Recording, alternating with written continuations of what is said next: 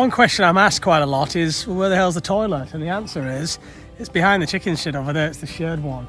But we've decided now to add one in our little cafe. Um, we really don't need a big area. If we do a homestay, you know, we're only going to have like two to four people here max, plus us. And so we're just going to put a small uh, toilet in here, um, just to this side.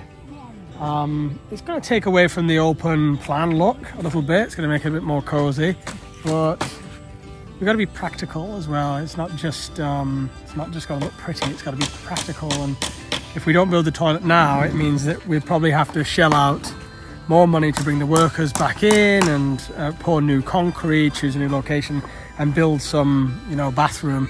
And really, I'd, I'd like to just get this done in one go. Um, one sting is better than uh, you know rip the plaster off fast. And also, what you see here is the metal for the roof.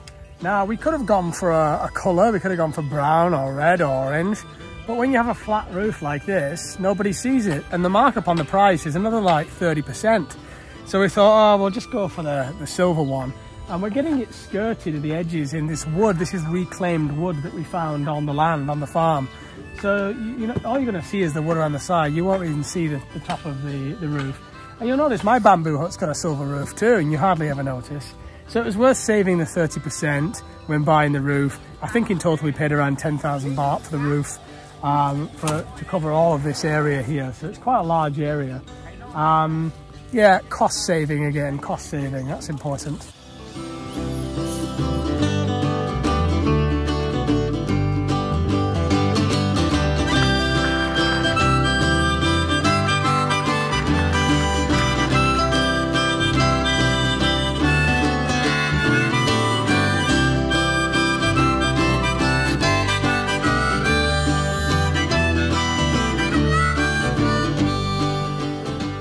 So when they finish, I will give everybody a breakdown of costs. But uh, so far, we haven't reached the 100,000 baht mark. Uh, we're probably closer to 50, 50,000 baht maybe.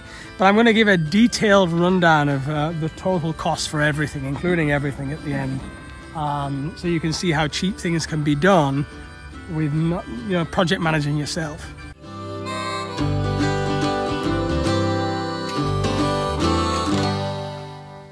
So we're shopping for bogs.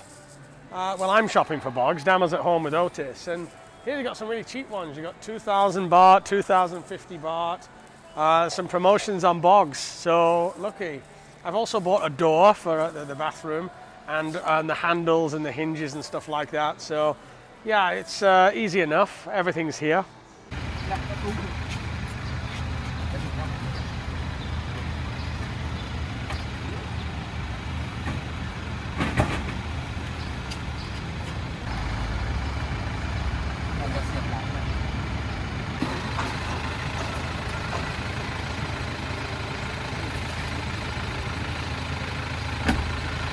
Come back up.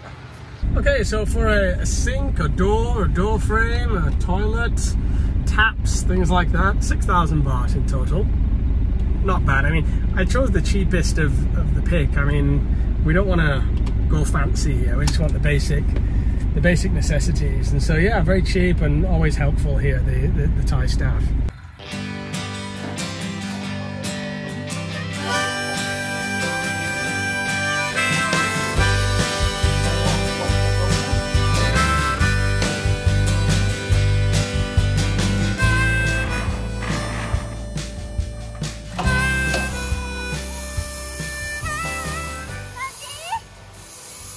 See your shoes?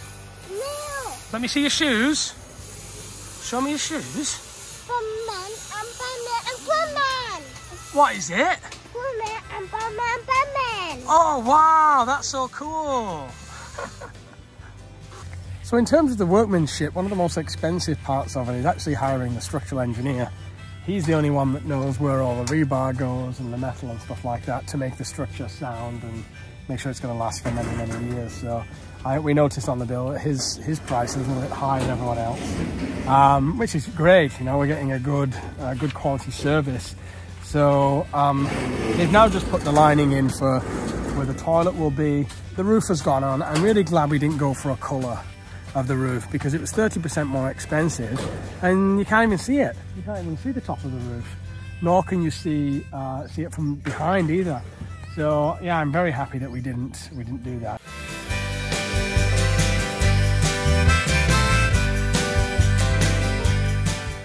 Just been having a good laugh with these guys. Uh, they're they're very funny, you know, very down to earth. And it often occurs to me as you know, why is my karma in being able to be in this position, being able to travel the world and to um, live my life the way that I have. And their karma is to do this each day. And who knows who's happier? You know, it's hard to tell. I think um, some might say they are happier uh, than, than most of us that are in the rat race. But I have a deep love and respect for them. They're uh, down to earth, real people and, you know, I often ponder also their struggles, their choices that they have to make in life. You know, not everybody is born with uh, opportunity and with uh, the, the, same privileges that other people are born. And in their case, I imagine they have to make quite difficult decisions. And that's probably why the, the link between the Lao Khao and the needing to have a beer in the morning. It's, um, I think I'd have to have a beer in the morning if I was earning so little and and had to make those kind of choices in in life and it just puts in in a, a bit of perspective on my, my, the gratitude for my own life but also a bit of perspective on what does it mean to be happy? Because it isn't to be rich.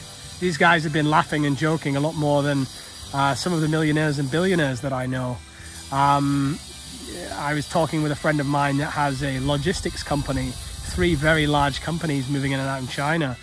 And uh, she's completely miserable, completely miserable, although the, the companies are making millions and millions of dollars. Um, it's just, it's difficult life. It's a difficult one to, to pinpoint the yin and the yang of it. Um, I think in the end, it's about just finding that peace within. That's where happiness is.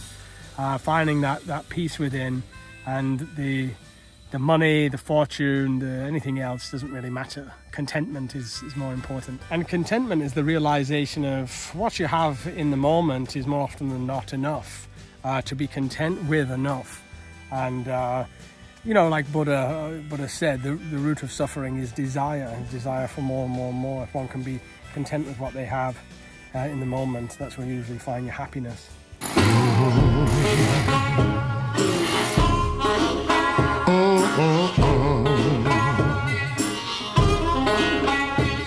The dust settles and the fighting is done.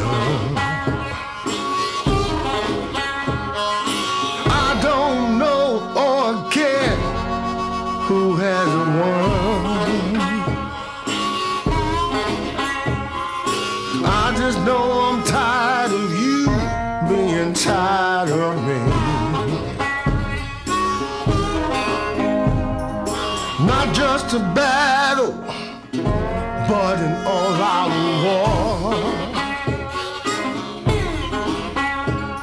I only want us going back to how we were before.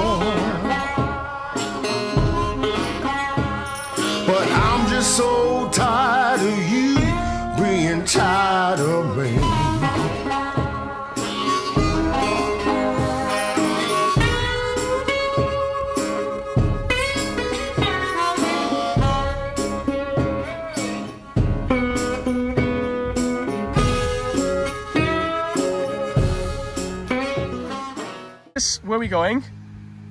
Go. shop. Got shop, yeah? What's that all around your mouth? What is it? Yogurt. Yogurt, isn't it? Yeah. And what we building over there, Tis? Um, uh, uh, um, poo-poo. A poo-poo, yeah? Um, uh, uh. What we building over there, Tis? Building a house. Building a house, yeah? Oh, Whose house is it over there? It's Tis and Daddy and Mummy's house, yeah?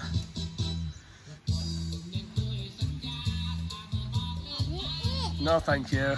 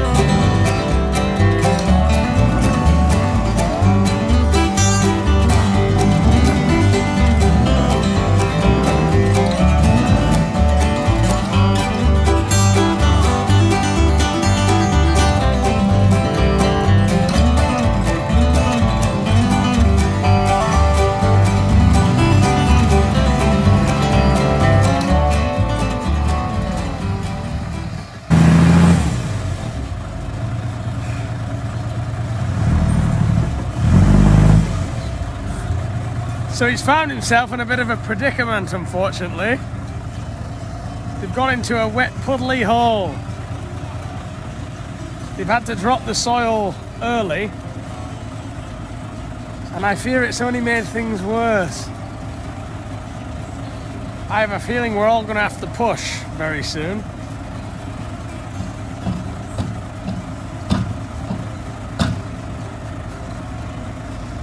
Seems a bit pissed as well.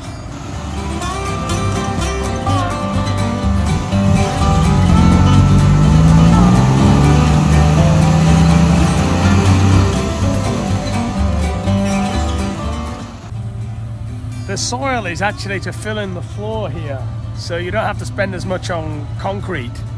Um, put the soil down first and add the concrete on top. It's uh, it's a money saver. So far, so good. This little side extension here is going to be for the uh, jacuzzi, so a separate area. We have the toilet in. Uh, the plastering has been done, very nice too. And uh, he's still working at getting his truck out. He's not happy. Okay, so he got out, that's the end of that story. And this is his friend coming in, let's hope for better luck. Oh no.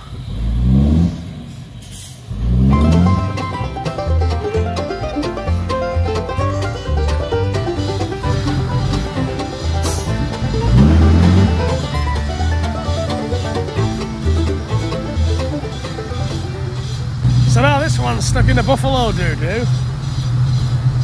And he's got to unload it there. Soon we're just going to have dots of soil. Little, little hills everywhere. So in terms of the financial aspect, we've received a couple of bills. We're very happy. I should mention that when we said pay by the day, that was limited to five days. So it wasn't just so it can go on and on and on, uh, five days. And these guys, I come to find out, find out that they charge per square meter. So whatever square meterage of wall they plaster, they have a set fee.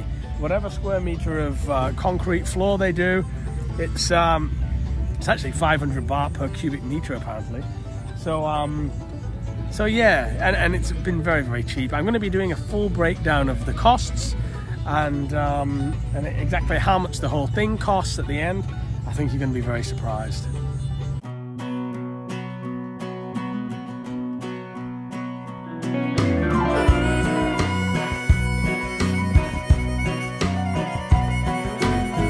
Big city for the simple country life. Found myself a woman that it took for me to be my wife. I was working on the ground, come the sun up to sundown. Hey, I'm trying to make a reputation for a man inside this town. Hard as I try, maybe I just can't. I ain't no up and kinda leaving me. She kissed me one time and she took my heart. Baby, you can love me, you can leave me. I'm a honky tonk star. Yeah, I'm a honky tonk star. Well, working three jobs, living out of a car. Mama never told me life would get this hard. Running around the world playing my guitar. Baby, you can love me, you can leave me. I'm a honky tonk star. Yeah, I'm a honky tonk star. Right, Tis, I've got an idea. You put your shoes on, yeah? Yeah. And then we'll go shop. We'll go to the shop, yeah? And then we'll play pool. Yeah? And then we'll play water bomb. And then we'll play bubble. Is that what you want to do? Right, so what we're going to do? What we're going to do? First go shop. First go And then, then, and play water. water. And then, Bubba. Yeah. Right, we've got a very busy day, haven't we? It's a very busy day for us, isn't it? Mm. We're going to be so busy, aren't we? Right, put your shoes on then, and let's go. Beep, beep, beep, beep. Beep beep. Get out of the bloody way. Bloody way, you! Beep, Beep, beep, beep, beep. Teaching him how to drive at a young age. That's how we do it. Tissa, you're so happy. Yeah, Have your dreams come true? yeah. Where are you going? Watch your head, little bugger. I just came across this huge woodman spider.